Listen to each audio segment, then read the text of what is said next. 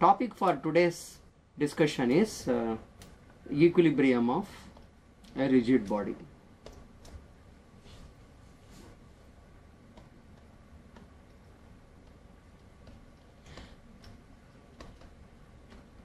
So hereafter mostly our focus is going to be on uh, rigid bodies and uh, well we had seen that uh, there are the forces acting on rigid bodies can be divided into two groups.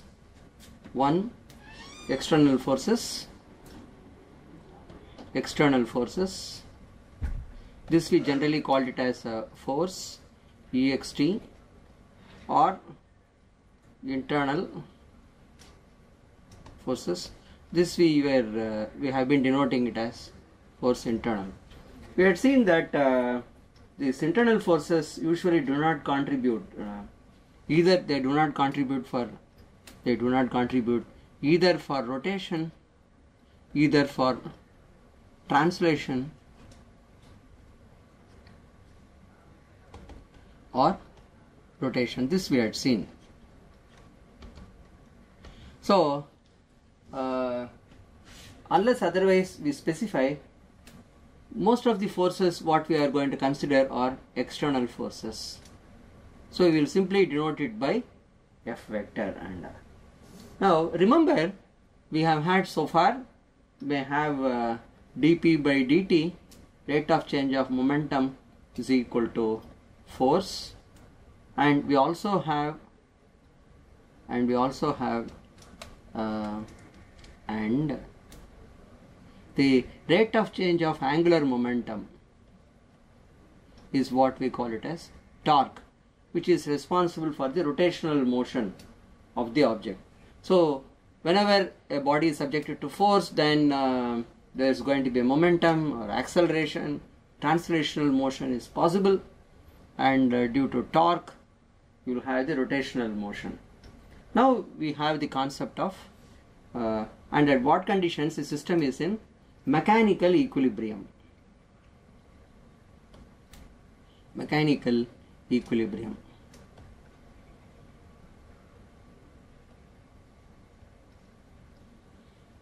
There are different kinds uh, a body may be under uh, different kinds of equilibria. Uh, there is something else called thermodynamic equilibrium chemical equilibrium. Right now we are concerned about the concept of mechanical equilibrium so what is this concept? This is like this if linear momentum is a constant of motion this is that uh, linear momentum is a constant of motion. That means uh, linear momentum is conserved. It is not changing. Then in that case what happens uh, on the other hand if um, the angular momentum is a constant of motion I'll here. It's a constant of motion. Then what can we have? And uh, so what happens in this case? This implies the sum of all the forces acting on the body. There may be several forces. Force is a vector so sigma over i1 is equal to n say this becomes 0 so for mechanical equilibrium system of all forces acting on the body must be equal to 0 this is what you call it as uh, uh, the translational equilibrium. So this is what you call it as this terminology translational equilibrium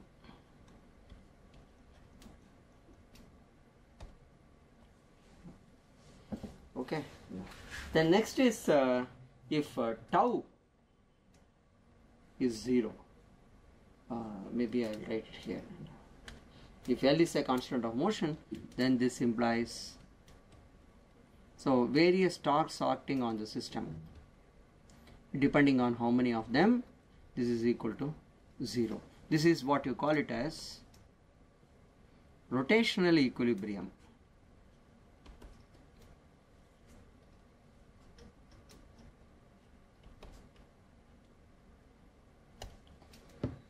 Okay. So, what is the meaning of the first equation? The meaning of first equation is, I will write it here. Meaning of first equation is, remember it's a vector equation, therefore uh, the sum of all the x component of all the forces is equal to 0. So, if Fi is the ith force, the x component, and I am summing over all the forces, this is equal to 0. Similarly, all the y components is equal to 0 and all the z components is equal to 0. Now what this means is that torque is a vector again sum of all the x components of the torques over all all the torques acting is 0 and uh, sum of all the y components of torques is equal to 0 and sum of all the z components of torques. And here I am writing in component notation these two equations. These two equations are in component notation. Therefore, there is no need to write vectors. We shouldn't write.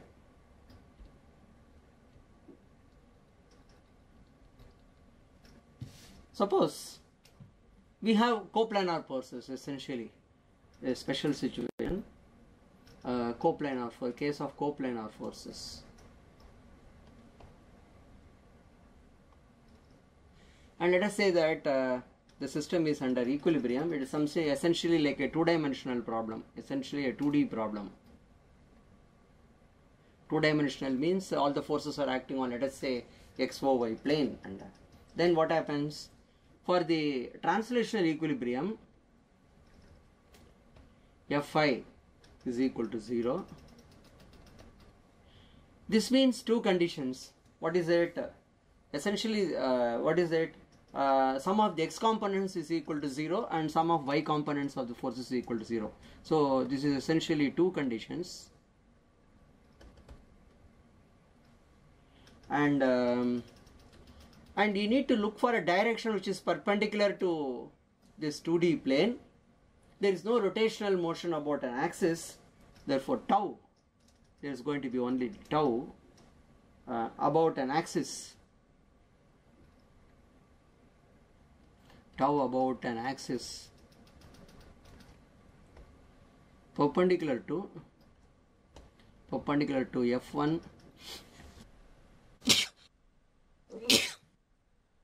F1 and F2 vanishes.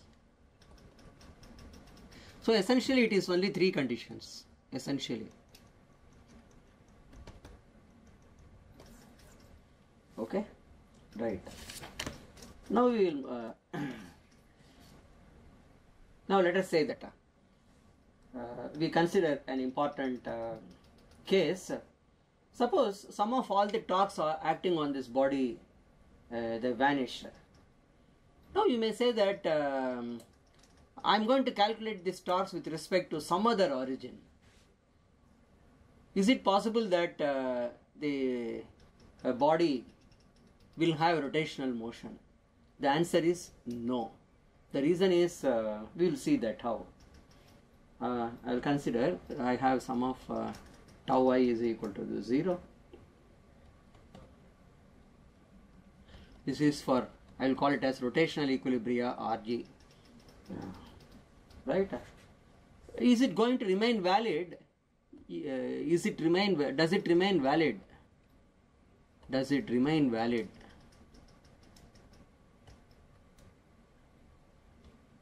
Does it remain valid if I if the origin is changed? If the origin is changed.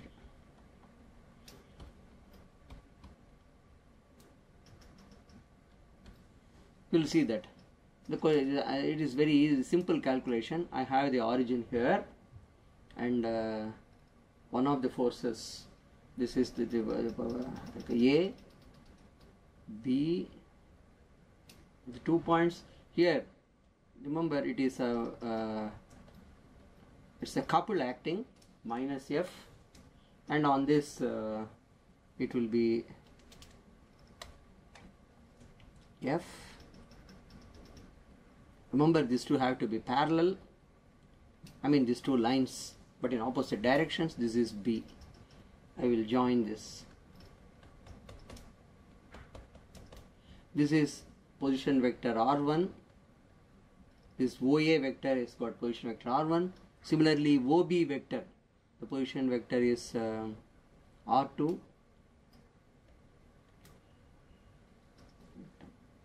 so these two forces F and minus F constitute a couple on a rigid body. So now let us calculate the moment of the couple. Moment of the couple. This couple is what is the moment of the couple? This is r1 crossed with the force crossed with minus f1 then plus this r2 crossed with f. Uh, actually it is uh, here the force is uh, minus f. Therefore I should not write this one here. Simply write minus f and f. Right? This is nothing but this is uh, this is uh, um, what will happen here. This is equal to what is um, this quantity? This is going to be um, r2 minus r1 crossed with f. What is r2 minus r1 from this triangle?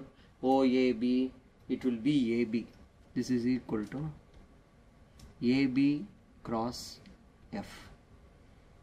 So this simple calculation shows that when you calculate the moment of a couple that is going to be independent of the origin.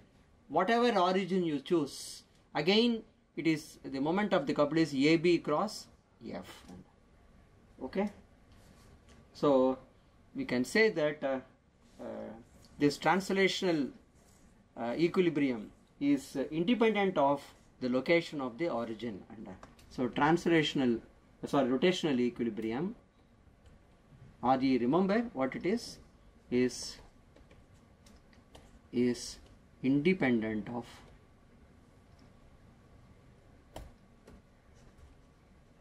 of the location of the origin.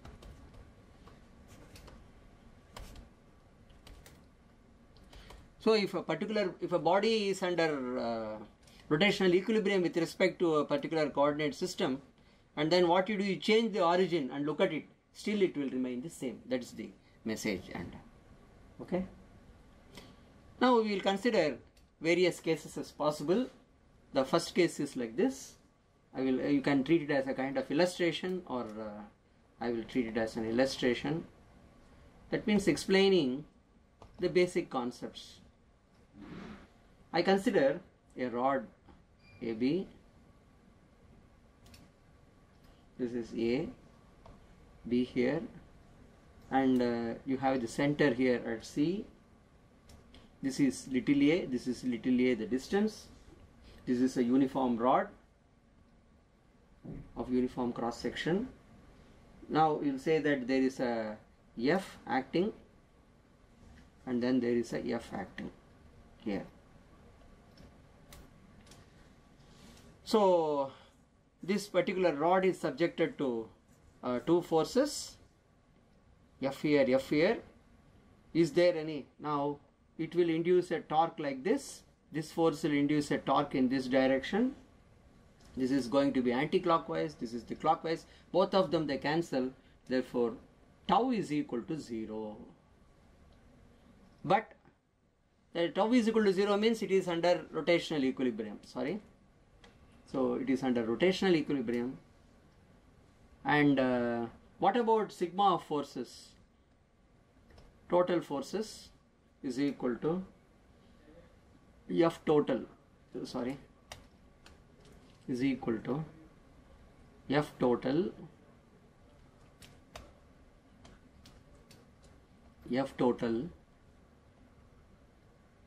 it is not equal to 0 in fact that is equal to 2f so obviously what will happen this is a case where is it under rotational equilibrium? Yes. What about translational equilibrium? No. It is not under translational equilibrium. Now we will consider the other case. This other case is like this. We will consider the same rod and uh, there is a at this end I have a force acting like this. There is another force acting like this. It's again it's a couple strictly speaking. That's the definition. Have the center here. Now only thing I changed reverse the direction of one of the forces. In this case what will happen? Uh, sigma fi is equal to uh, f total this is equal to 0 they are in opposite direction therefore it vanishes. However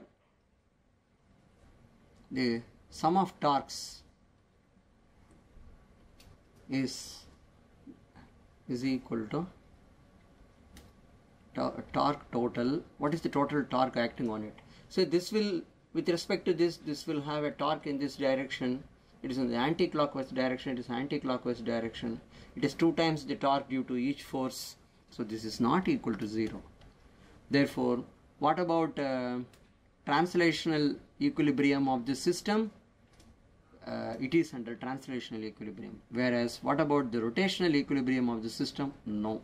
This will rotate and so such a situation is what is known as such a situation where the body does not have translational motion uh, uh, where it is under translational equilibrium.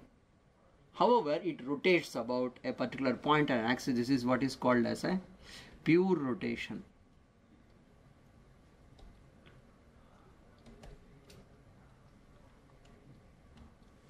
okay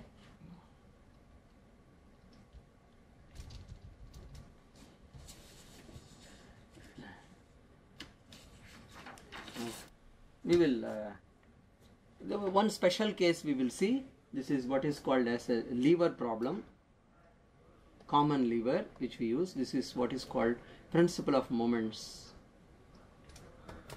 Actually this is taught even at a very element uh, even at an early stage in a school. However we shall discuss this from the point of view of translational equilibrium and rotational equilibrium. So i have a uh, a simple lever like this. What you have is you have a fulcrum. This is what you call it as a pivot or fulcrum as it is known. And uh, this is subjected to here there is a force.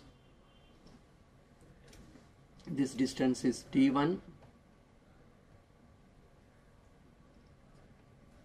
and then this distance is d2 call this point as a call this point as b. Okay? Uh,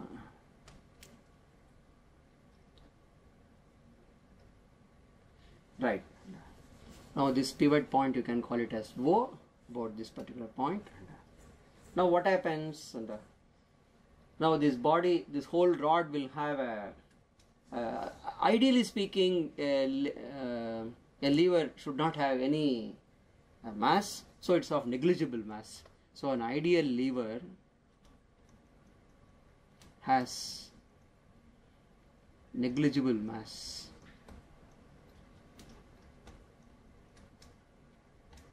So there is going to be um, the two forces are going one force is acting here another force F2 it will have a moment like this. It will induce a moment. This will induce a moment like this. Fine let it be there. So generally what you do is this is the load arm. This section is known as load arm. This portion is known as load load arm. This A to O is known as load arm. Then O to B is known as um, this is effort arm. See what you do is you there is a weight here which requires to be lifted or moved you have here effort term, some force you are going to apply. Okay. Now there is um, there is a forces are acting here. Therefore, there will be a reaction at this particular point. Reaction at the fulcrum. Reaction of the support at the fulcrum. This is a vector quantity. So the reaction at the fulcrum, at the support. Reaction of the support at the fulcrum. Okay. So for translational equilibrium, for for translational equilibrium, what we need this R must be equal to F1 plus F2.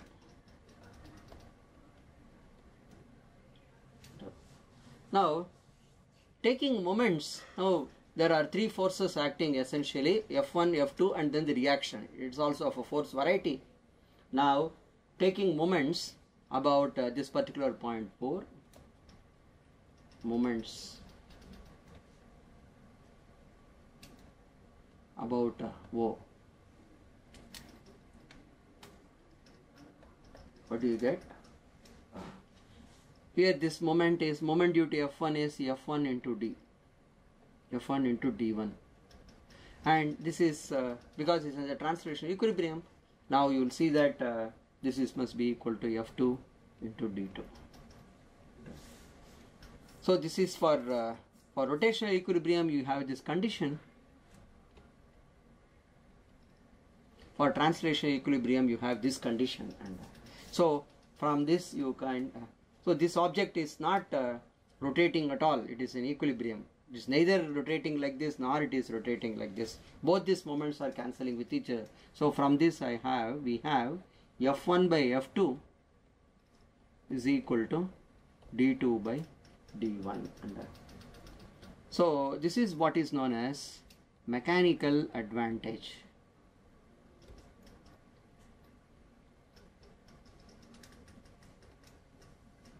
See, what we want is ideally, uh, if um, if f1 is much much larger than f2, let us say, then in order to maintain this equilibrium, we need to have this distance d2 much much larger. That is the idea. So d1 is much smaller, and this is a common sense experience. And okay, but battery waste. Now we will go into concept of center of gravity. எவ்வளோ time ஆச்சு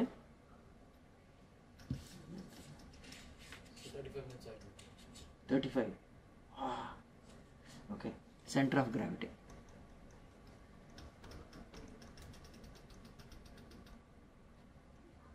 fifty வர்றப்போ சொல்லுங்க தி concept of centre of gravity it is a common experience that uh, you would have seen everybody can do it. If you have a notebook or a cardboard it can be uh, held on a at a particular point at a particular point wo one can vertically hold it so that this but uh, this book or uh, cardboard it is balanced. Okay? So the um, how does this happen? So the re- there is a, going to be reaction at the tip. This reaction at the tip what we call it as r. This reaction at the tip is going to balance the um, uh, the total weight the total weight of the book mg of the material of the book or material of the book let us say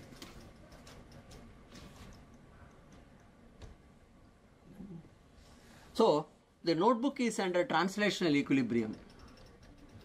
It is under translational equilibrium and uh, not only that it's also under rotational equilibrium. Why?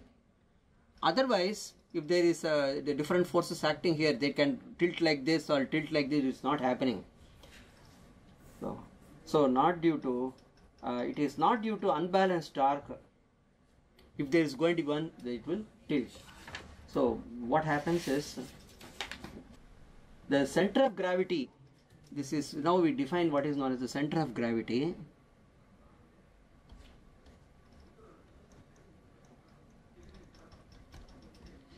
CG. The center of gravity is located such that the total torque on the body, center of gravity so located such that the total torque on the body due to the forces, let us say that there is a m1g, there is something else m2g, etc. So the total torque due to different forces they balance, they cancel out, and so to, torque is equal to summation over i ri. So this is the r1 vector. Okay, that crossed with whatever is the mass at this particular point and acceleration due to gravity that is equal to 0. So, um, what happens is the center of gravity of a body is that point where the total gravitational torque on the body is 0. So, this is this definition of center of gravity. The total gravitational torque acting on the body must be equal to 0 and so uh, Ri and G are perpendicular to each other therefore essentially you are left with Mi Ri summation is equal to 0 okay? At this stage one would think that uh, this is same as the center of mass but is not. Remember the center of mass definition is this quantity divided by the total mass However, it, it will turn out to be the same if the, um, the origin is the center of mass of the body. Right? If origin is going to be the center of mass of the body, then it will turn out to be the same. So what happens is that the center of mass and center of gravity, both of them will turn out to be the same if the body is subjected in a uniform gravitational field. So center of mass is equal to center of gravity in a uniform gravitational field.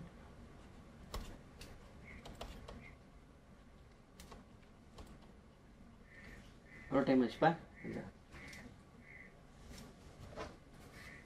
Twenty nine 35 thirty five Sonna ಮಂದಿ ಇಲ್ಲ sir ಯಾವ phone ಅಯ್ಯೋ ಅಯ್ಯೋ stop clock ಇದಾ correct ಹಾಂ right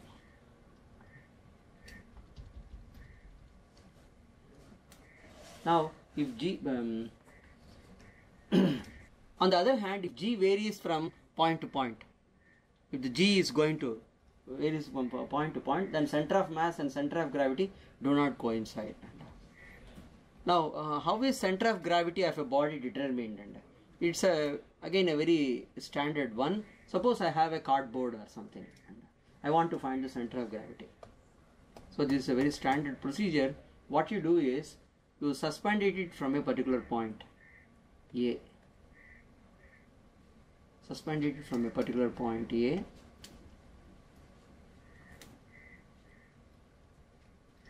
This point is A. So the whole uh, the weight is going to act along this, so it will be along this direction. Now uh, you take some other point B and suspend it again. Um, then its weight will act along this when you put it this way. When you uh, uh, when you fix this whole body about uh, fix it about the point B. So similarly, you will find that various lines will intersect. Suppose I have another point C here and do this. So this is the center of gravity. So this O is the CG of the body.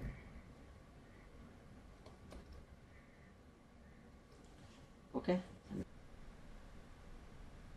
We will work out an illustration.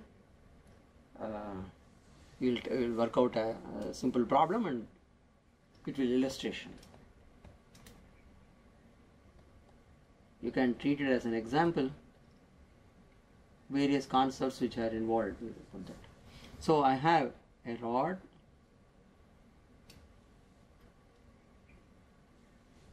this end I will call it as A this end I will call it as B so there is a pivot here K1 there is a pivot here K2 it's obvious that there will be a reaction here. This is R1, this is R2, R1, R2. So this will um, I have the CG of the body. என்னப்பா இப்படி வந்திருக்கேதா வச்சுக்கிறீங்களா why it is coming This is normal click, sir. இந்த இதில் click பண்ணுறேன் pen வச்சு Ah, okay. So this is uh, G. The weight will act down. Right? Let us say that this weight is uh, um, weight. Remember, mass times weight is what? Mass times acceleration due to gravity. This is four. Then I have another uh, weight at this particular point P. Let us say that uh, this is the point P. There is a weight W1. This is uh, W1 is given to be 6 times G. Okay? Now, uh, K1 and K2 are pivots or knife edges, whichever way you want to take, can take. There are few dimensions given in the problem. I will specify that. AB is 70 centimeters, namely the length of the rod. Of the rod. Then AG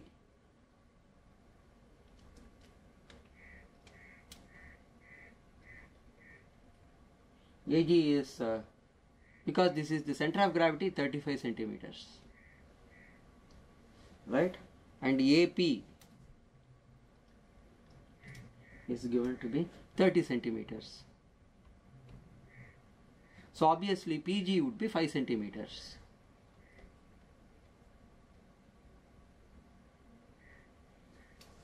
okay. Then uh, we need certain distances. Uh, what is this ak1 ak1 ak1 is equal to and uh, ak1 is equal to bk2 this is the location of uh, knife edges it's 10 centimeters uh, so we know what is k1g and k2g k1g is equal to k2g is equal to so 35 minus 10 is 25 centimeters. Right. Now we have uh, it is under uh, uh, translational equilibrium. Therefore the forces acting upwards r1 and r2 must be equal to forces acting downwards. So translational equilibrium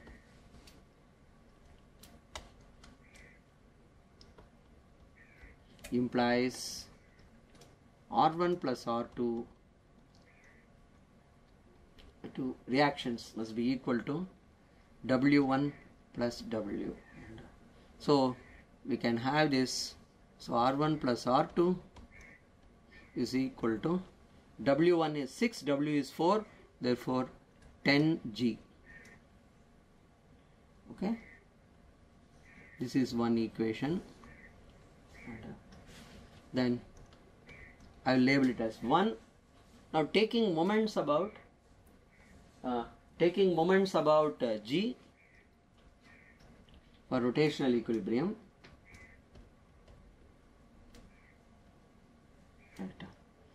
Now it is going to be in the clockwise whereas this will be in the anti-clockwise and W1 with respect uh, we are taking moments with respect to the point G. So this will rotate in this direction. So minus R1 into what is the distance K1G plus R2 into R2 into K2G. Ah, this plus there is one W1 acting here W1 into PG sum of the, all the moments is equal to 0 so we can substitute the numbers. This is 0.25 in meters. K2g is um, um, 0.25 meters p1g is just 5 centimeters here. P1g is 5 centimeters. Therefore is 0.05 meters.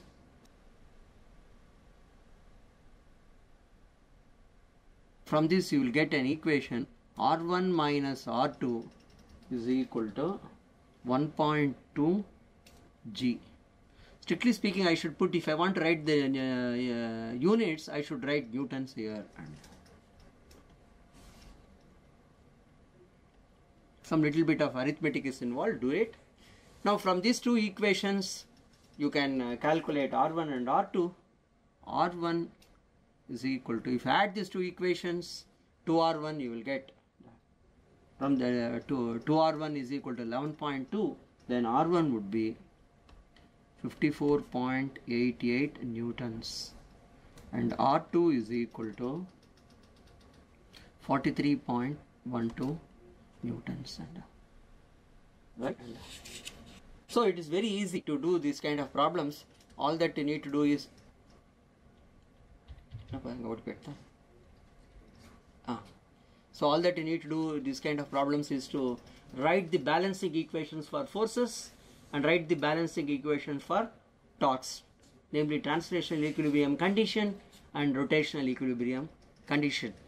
When you take, uh, when you write down the rotational equilibrium condition, you need to take torques about a suitable point where your algebra would be simpler. And now we will consider an illustration, another problem.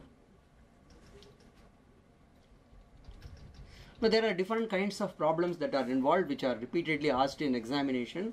Various things can be asked. One is uh, a ladder problem. This I will call it as an illustration or a problem.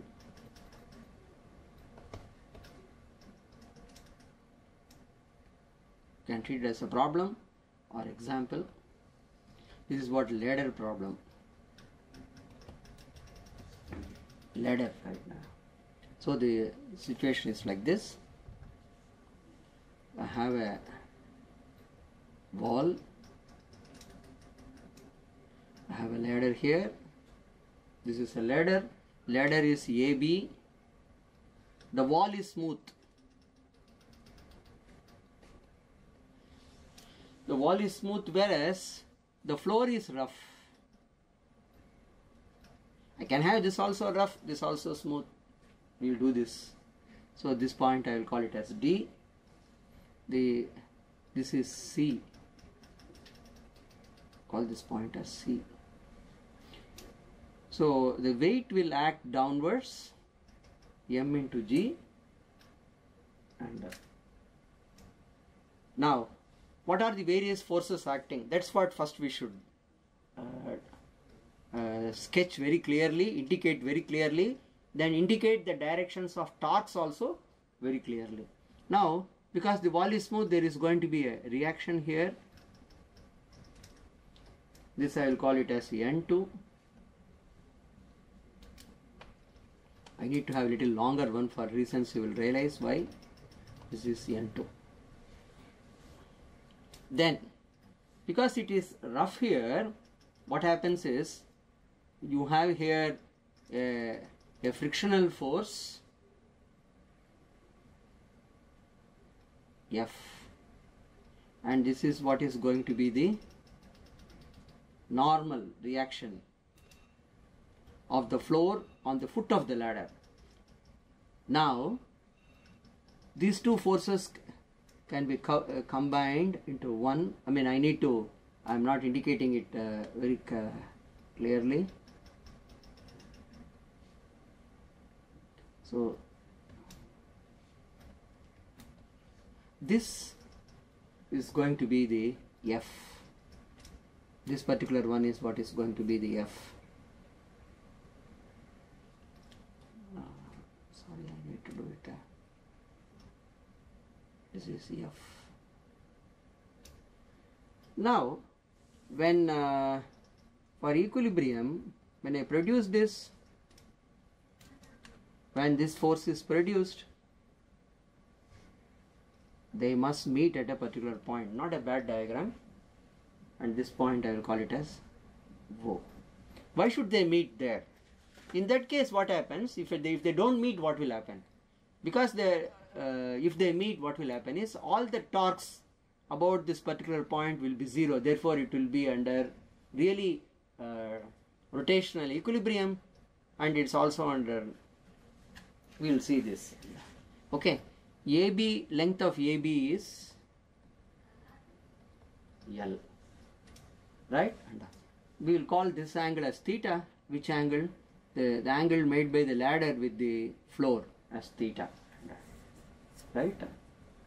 So, what is F, sir? Actually, F is nothing but the reaction of reaction of the floor, reaction of the floor on the foot of the ladder.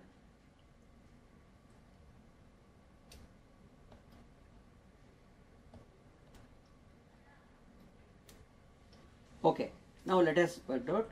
Uh, it is under it is under uh, uh, translational equilibrium and also under rotational equilibrium.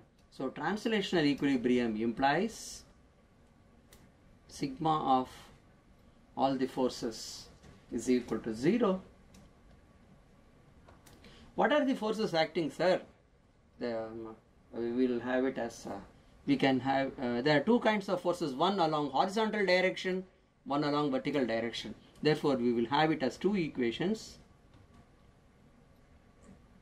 And uh, sum of all fy is equal to 0 f of x is equal to 0 implies is equal to uh, there are only two forces uh, the forces along the horizontal direction. N2 is one force it is acting at A. There is another force, namely the frictional force F, which is acting at B. Therefore, F is equal to N2. What about the forces acting along Y direction? Only two. One is the weight of the uh, ladder, which is acting at the center of gravity, and the reaction at this particular point. This implies N1 is equal to mg two important equations we have got.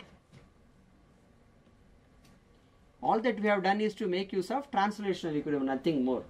Now, rotational equilibrium.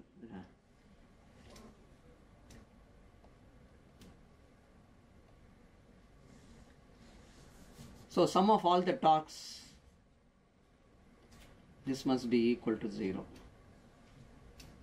Uh, about which point I would like to calculate. And, I would like to calculate net torques about B. So I will say that uh, net torques about the point B. You can choose any point you want. Earlier we already seen it. Then what will happen? Then this will rotate in this. Uh, the weight of the body will rotate in this direction, in the clockwise direction whereas this n2 will uh, uh, rotate it in the counterclockwise uh, anti-clockwise direction. So mg into mg into the foot of the perpendicular from this particular point that will be equal to what? This length will be uh, l by 2 this whole length is l by 2 this is l by 2 into cos theta minus n2 into n2 into ah what did I do? I should drop the perpendicular to this. That would be whole thing into sine theta. This length into sine theta. Into sine theta. L sine theta is equal to 0 so I will have n2 is I will cancel this. N2 is equal to I know it is already equal to f here that will be equal to mg into cot theta by 2. Now I know what is n1, I know what is n2, therefore I can calculate what is the uh, total force. F is same as n2, therefore total force. What is the total force? Actually it is the reaction of the floor on the foot of the ladder. This will be equal to square root of ah, as from this particular figure, this particular figure, I have here n1 squared plus f squared. This is same as square root of n1 squared plus n2 squared. This is equal to n1 squared is mg squared 1 plus cot square theta by 4. So this is nothing but mg into square root of 4 plus cot square theta divided by 2. This is the magnitude of the force.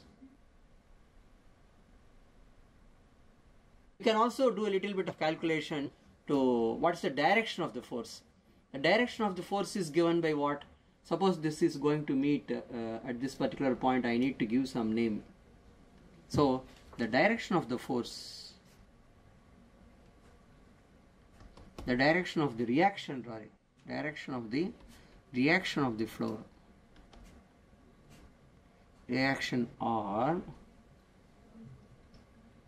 is given by this angle uh, OBE. That can also be calculated from little bit of geometry and now we will uh, we will consider one more example.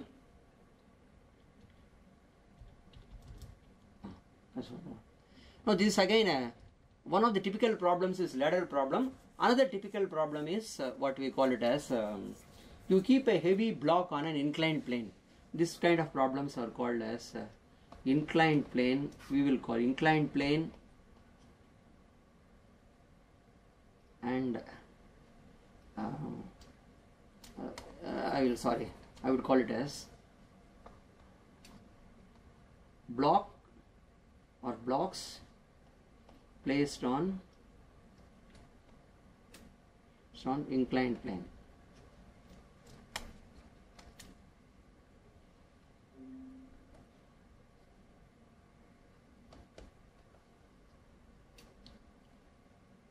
This is another typical problem. Let me, I am not going to write down the problem, but I will describe the physics of it. Physics of it is like this. I have an inclined plane. This is theta and I have a block which is placed on it. H is the height of the block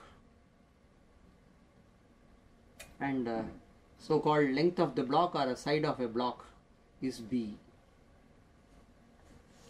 Okay, the, the weight will act from the along, uh, through the center of gravity. This will be mg. This is uh, maybe I'll reduce it a little bit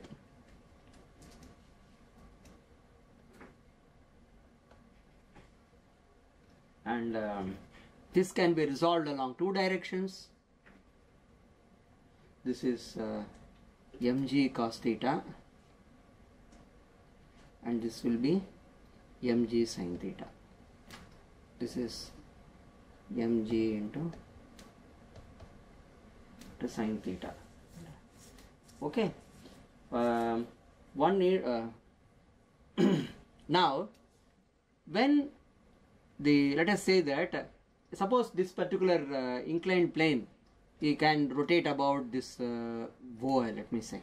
Then the, this plane this particular top portion will coincide like this then the block is placed on this now I can rotate it let us say that I can rotate the inclined plane that means the angle theta can be increased when the block is on the floor, mg will act downwards. The reaction will also act, the normal reaction will be here. Okay, now if I keep rotating, what will happen? at a, this uh, there is a situation when this block can topple. When the block will topple this normal reaction will no longer act through the center of the cg so normal reaction will, be in a some other point. This is going to be the direction of normal. So as you keep rotating when you reach a particular point let us say um, as you keep rotating this n will move. So this distance we will call it as this distance is what x. I will produce it so that you will know clearly. This distance I will call it as x. So the uh, the point of application of n will shift from this line towards this and uh, the body will topple when n exactly coincides with this particular side okay. Now this kind of problems can be done. This i will call it as uh, um, a. This point i will call it as a. This point i will call it as b. That's all i would need. Now i will write down the the block has two tendencies. One the block can slide down. It is the translational motion. The block can slide down so one can write down the for translational equilibrium. For uh, for translational equilibrium sigma of f must be equal to 0 then rotational equilibrium. We don't want this to topple. Therefore sigma of all torques. I can take it about a particular point. I am going to take it about C this must be equal to C. I am going to take torques about this. Now what about uh, the translational equilibrium? What does it mean? It means uh, it means first horizontal forces. What are the various horizontal forces mean? Horizontal in the sense horizontal to the side of this block. Here there is a frictional force f therefore this f must be equal to this this is the only force that is acting along this direction. Along this direction it's the mg sine theta. Therefore f is equal to mg sine theta. Then n is equal to this n is equal to mg cos theta.